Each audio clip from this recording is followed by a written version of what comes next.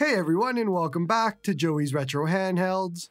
I'm Joey and today I'm going to show you a new custom firmware option for the Miyoo A30. I've been keeping my eye on the A30 and waiting for it to get to a usable state. I did my review not too long ago and to say that I wasn't impressed with the software is a bit of an understatement but I like the rest of the device before turning it on, and so I've been waiting for somebody to fix the software. And so since then, there's been some custom firmware coming out for it, and I decided to check it out and see if they at least made the device usable now. Spruce is one available custom firmware, which they say is a trimmed stock OS. There's a few things that they've done here. They matched the default emulators and cores to what Onion OS uses. They've made some visual changes to make it easier so you don't have two ways to launch games, and they made it less confusing for normal users. There's some RetroArch tweaks and a whole bunch more, but the general idea is that this is just a modified stock operating system made to be better than what came with it. You can read the full GitHub page for a longer idea of what they added, but it's just, I was interested because it seems like it makes the device work, and I want to see if that was the case. And so from my experience using Spruce, it very much does that. This is basically how it should have come from Miyoo directly, because it actually works, with some caveats. Super Nintendo games work without issue right out of the box, there's no filter applied or anything like that. Retro Achievements is another thing that didn't work on stock, and here it works just fine. The rest is all gravy on top. The device still gets warm, the battery isn't super great, and I still get occasional complete freezes, but at least most of my major gripes about the software have been taken care of. I'm going to be super clear here. If you're going to get this device, you will want Spruce on it right away. It should be the very first thing that you do. Otherwise, I'm just back to not recommending this device at all, and you should not get it if you're going to be using the stock operating system. But thankfully with Spruce, this device is in a much better spot and it's fun to use. And while Spruce isn't perfect, and we'll talk about it a little bit later on, it is definitely a custom firmware that I'm going to keep my eye on just to see what updates they do here. So let's just jump into the install, and it's actually pretty easy. Head to the Spruce GitHub page and you can see the list of changes here. Feel free to read through them if you want, but just know that it's what you should now consider as stock. They just made things better. Then click the download link to be taken to the releases page and download the latest releases zip file. Go ahead and extract that zip file. It's going to take a few minutes, there's a lot of files. Now we need to format a single SD card as FAT32. I'm going to be using a 64 gigabyte card here from SanDisk, but 64 gigabytes to 128 gigabytes is enough. I don't think you need anything larger than 128.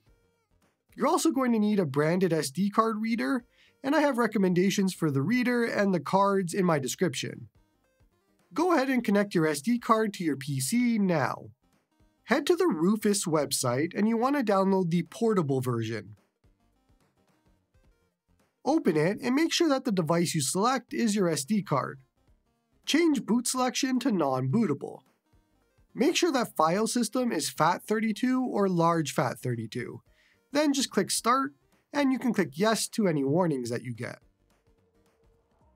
You now have a blank FAT32 SD card, so move over all of the extracted zip file contents. It's going to take you a few minutes.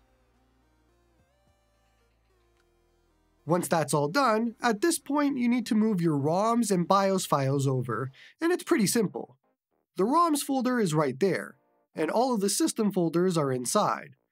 You can move them over from your other SD card, or just put new ROMs, whatever you want to do at this point.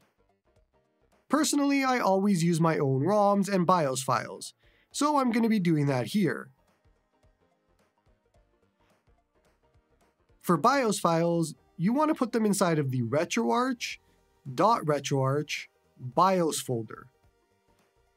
If you want to use the BIOS files that came with the stock card, you can just transfer them all here.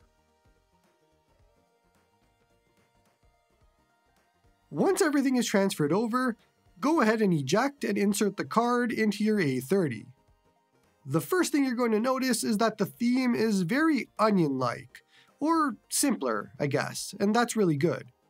You have recents, you have favorites, game, app, and setting, all of which are easy to understand and there's no more confusion about where to launch games from.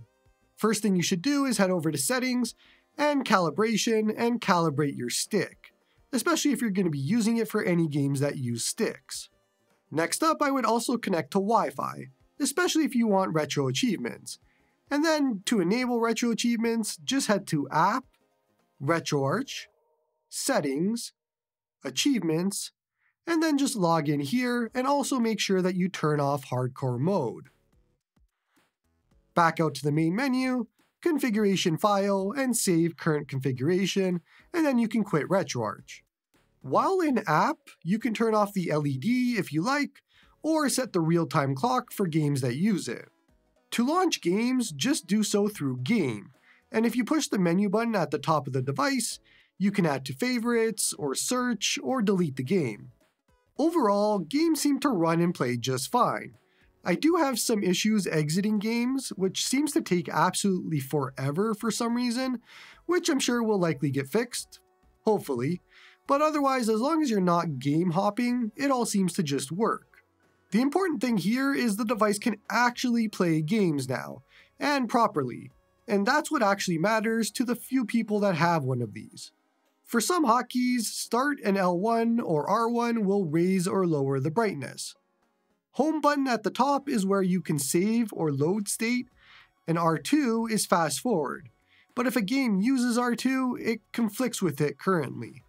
Right now, there isn't any combination hotkeys applied, which I'm sure is something the devs will look at and maybe implement. Otherwise, there's not much else to say here. This is just a better stock operating system, and it's what the A30 should have shipped with. It's still not a perfect device, and I'm not sure it will change much on my recommendations, but I can at least say that it's usable now, and it's in a way better position. There's still some bugs and kinks to work out for the Spruce devs, but it's pretty cool to see how fast they did this, and once again is just another example of how the community has to fix manufacturing issues. I don't know where Miyoo has been, but they really haven't done anything since this release. And once again, the community does this for free and does it better. So, yay. Don't forget to like and sub to help the channel grow. Come join me on the Discord to talk about retro handhelds. Support me on Patreon if you like my stuff. And hope you all have a good one.